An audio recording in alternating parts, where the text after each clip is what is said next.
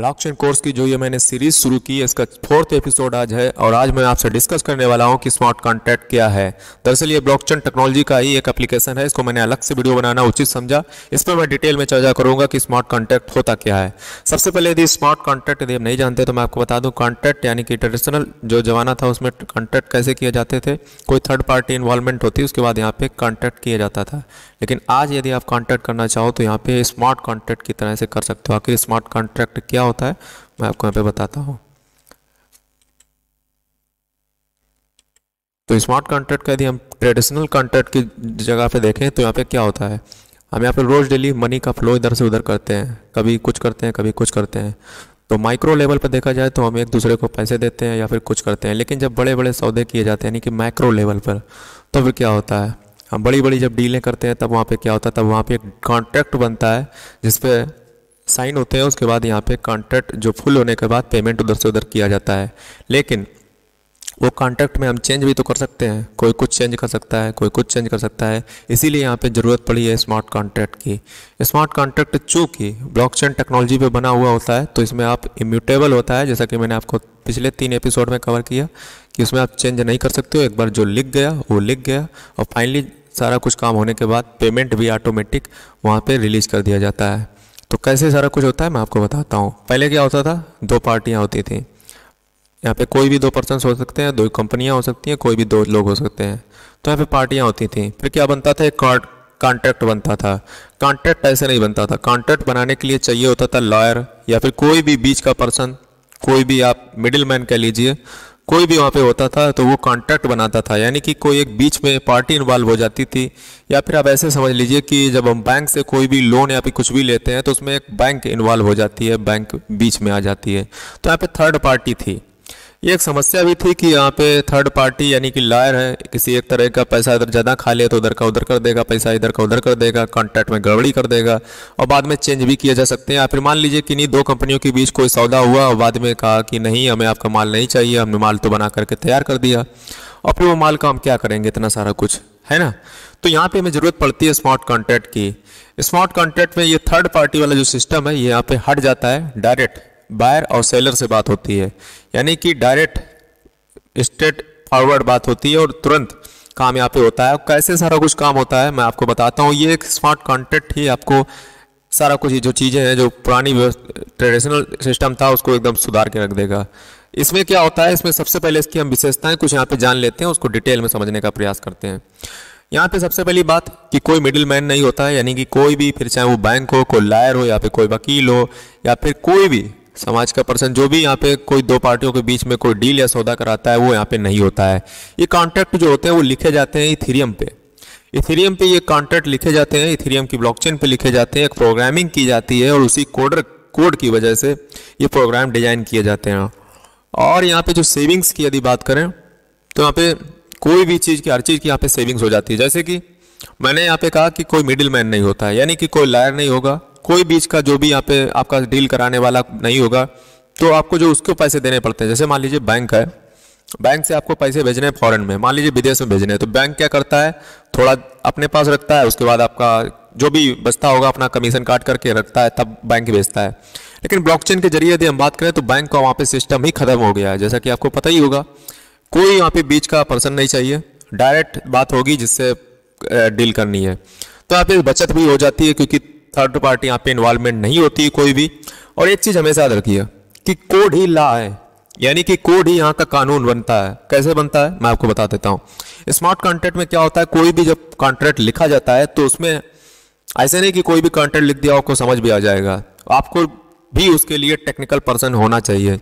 आप उसमें कोई भी कोडिंग जरा सी भी उधर से उधर कर दी तो आप कोड को समझ ही नहीं पाएँगे और ये कोड जो होगा एग्जीक्यूट हो जाएगा। आपको पता भी नहीं चलेगा, क्योंकि यहाँ पे कोड ही कोड की ही वो कला है और मैं यहाँ पे ये भी बताने वाला हूँ कि आजकल आप बड़े बड़े डी फाई के सी फाई के प्रोजेक्ट देखते होगे, वो हैक हो जाते हैं या फिर ये हो जाता है, वो हो जाता है, कैसे सारा कुछ हो जाता है। इसकी जो मेन कमी होती है पता क्या होती है? आपने कभी संविधान पढ़ा होगा कॉन्स्टिट्यूशन तो उसमें क्या होता है?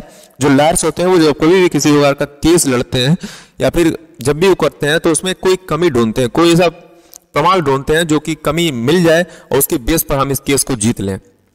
फाइनली वही चीज़ यहाँ पे स्मार्ट कॉन्ट्रैक्ट में भी हो सकती है। यहाँ पे एक शब्द लिखा हुआ है, पूरा पढ़ लीजिए कोड इज़ लॉ यानी कि कोड ही कानून है। यहाँ पे जो भी आप स्मार्ट कॉन्ट्रैक्ट में लिख दोगे, वही काम वहाँ पे एग्जीक्यूट होगा।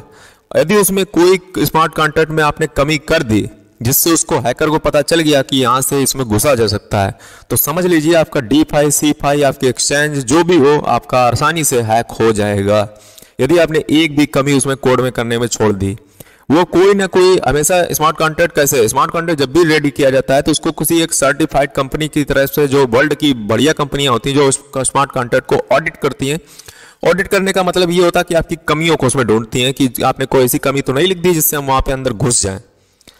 तो वहाँ पे जब इसको ऑडिट किया जाता है तो आपको अभी भी किसी टोकन या कॉइन को खरीदने से पहले देख लीजिएगा कि उसको ऑडिट किस कंपनी द्वारा किया गया है, जो कंपनी ने ऑडिट किया है, वो वर्ल्ड की कितनी नंबर्स में कितनी रैंकिंग है, वो एग्जिस्ट करती है। तो ये होता है कोड ही कानून है, इस स्मार्ट कॉन्ट्रैक्ट का। नेक्स्ट चीज़ यहाँ पे समझ लेते हैं कि डिफ़ॉल्ट बैकअप्स यहाँ पे हमारे पास हर चीज़ का रिकॉर्ड रहता है स्मार्ट कॉन्ट्रैक्ट में क्या लिखा है, क्या नहीं लिखा है कोई वेरीफाई कर सकता है, और वो एक बार लिख गया तो लिख गया, उसमें कोई चेंज कोई म्यूटेबल वहाँ पे नहीं हो सकता है। अवॉइड मैनुअल एरर यानी कि यहाँ पे कोई भी एरर नहीं होगी, कोई भी त्रुटि नहीं होगी, और यहाँ पे कोई भी मैनुअल तरीके से, यानी कि छेड़छाड़ नहीं कर सकता, जैसा कि मैंने पिछले एपिसोड में आपको बताया, कि कोई भी यहाँ पे छेड़छाड़ हो ही नहीं सकती है। ट्रस्टलेस एग्जीक्यूशन यहाँ पे ट्रस्टफुल है है ना? कोई थर्ड पार्टी नहीं है तो यहाँ पे ऐसा होता है जैसे मान लीजिए आपने डील दो लोगों ने कर ली उसके बाद जो भी उसमें शर्तें होती हैं जैसे मान लीजिए मुझे यहाँ पे किसी को ए, माल का ऑर्डर मुझे मिल गया है कि मान लीजिए मुझे यहाँ पे इतनी चीज़ें वहाँ पे डिलीवर करनी है और उन्होंने शर्त क्या रखी है? मान लीजिए मुझे यहाँ से उनको किसी पर दूसरे पर्सन को मुझे यहाँ पे सेब देने हैं यानी कि एप्पल्स देने हैं तो एप्पल्स उन्होंने शर्त ये रखी कि एप्पल्स सही होने चाहिए।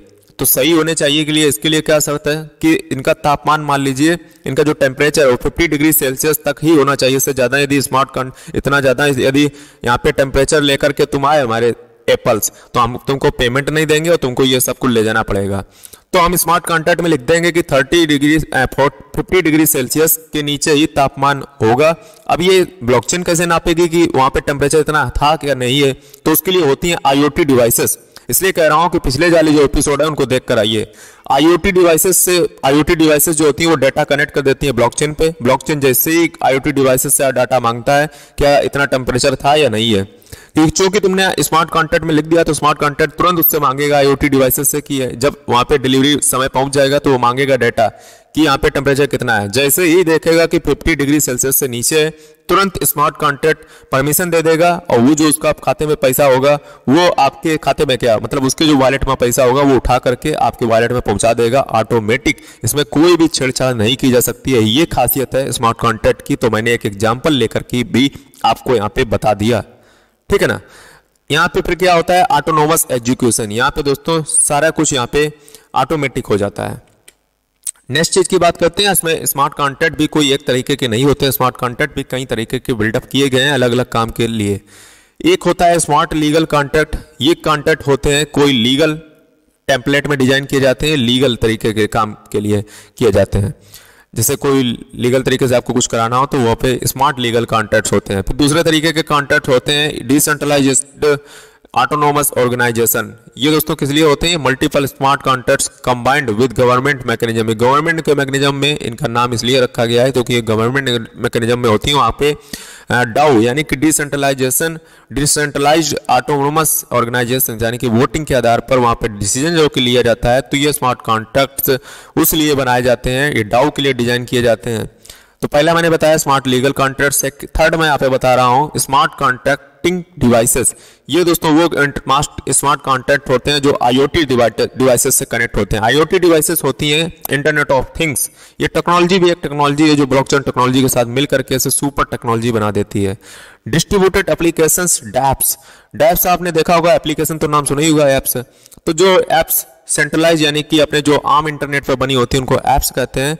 और जो डिसेंट्रलाइज इंटरनेट पर बनी होती है, यानी कि जो डिसेंट्रलाइज पे इंटरनेट में इथेरियम या फिर ब्लॉकचेन ये जो डिसफाई की जो ब्लॉकचेन है, उन पे बनाया जाता है। इनको हम डैप्स कहते हैं और ये एप्स की जगह पर डैप्स का नाम ले लेती हैं। तो डिस्ट्रीब्यूटेड एप्लीकेशन ये कहलाई जाती हैं। और नेक्स्ट टॉपिक की यहाँ पे बात करते हैं तो नेक्स्ट टॉपिक यहाँ पे है। ये आप एक एग्ज़ाम्पल और देख लीजिए। ये चलिए मैं इस एग्ज़ाम्पल को ना लेता हूँ, क्योंकि ऑलरेडी मैं एग्ज़ाम्पल ले चुका हूँ। तो ये दोस्तों इंटरनेट ऑफ़ थिंग्स की यहाँ पे कुछ डिवाइसेस मैंने यहाँ पे दिखा दी आपको। ये डिवाइसेस जो हैं, हमारे स्मार्ट कॉन्ट्रैक्ट में कोई भी चीज़ की डेटा ज़रूरत पड़ती है तो ये डिवाइसेस के द्वारा मांग लिया जाता है, और वो स्मार्ट कॉन्ट्रैक्ट उतना वेरीफाई करने के बाद पेमेंट को उधर से उधर आराम से रिलीज़ कर देता है। तो उम्मीद करता हूँ आपको स्मार्ट कॉन्ट्रैक्ट ये स्मार्ट डिवाइसेस होती हैं आईओटी जब ब्लॉकचेन टेक्नोलॉजी के साथ मिल जाती है तो ब्लॉकचेन टेक्नोलॉजी का स्मार्ट कॉन्ट्रैक्ट में बहुत ज़्यादा योगदान है आईओटी का। ठीक है ना इंटरनेट ऑफ़ थिंग्स ये डिवाइसेस होती हैं दरअसल जब ब्लॉकचेन को डेटा की ज़रूरत पड़ती है तो वो इनसे मांग लेती हैं। ठीक है ना? तो उम्मीद करता हूँ स्मार्ट कॉन्ट्रैक्ट आप समझ गए होंगे, और डिटेल में हम समझेंगे कि स्मार्ट कॉन्ट्रैक्ट कैसे लिखा जाता है, क्या लिखने का प्रोसेस होता है, कैसे कोडिंग की जाती है। इसके बारे में भी आपको बताएँगे, लेकिन वो आगे वाली वीडियो में पता चलेगा। तब तक के लिए इतना ही समझिए, और जल्दी लाते हैं फाइव एपिसोड और जिसने पिछले वाले जितने एपिसोड ना देखे हों, तीन एपिसोड उनको देख लीजिएगा, और ये चौथा एपिसोड देख करके लाइक कर दीजिए सब्सक्राइब कर दीजिए चैनल को बेल आइकन को प्रेस कर लीजिए, ताकि आपको फ़र्स्ट फट वीडियो की नोटिफिकेशन मिल जाए सबसे पहले।